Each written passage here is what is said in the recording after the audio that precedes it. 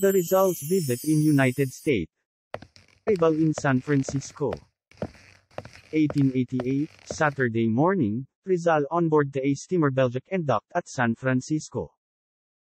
His arrival in this great country was marked by racial prejudice, for he saw the discriminatory treatment of Chinese and the Negros by the white American. May 4, 1888 the day he was permitted to go ashore. Rizal registered at the Palace Hotel. In his diary, I lodged in Palace Hotel. $4 a day with bath and everything included. He also visited Stanford University at Palo Alto, California, the Plant Street in Chinatown. Across the American continent. On May 6, 1888, Rizal left San Francisco for Oakland.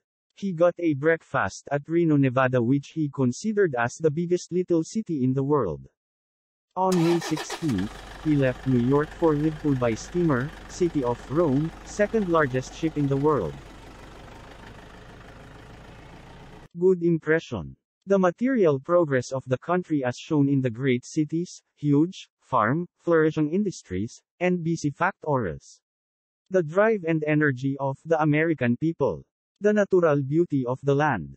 The opportunities for better life offered to poor immigrants. America is the land par excellence of freedom but only for the whites. Thank you for watching. Adios.